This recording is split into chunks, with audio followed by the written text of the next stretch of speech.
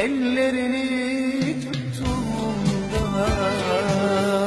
Gözlerine baktığımda Tatlı sözler duyduğumda Uçuyor, uçuyor, uçuyorum ta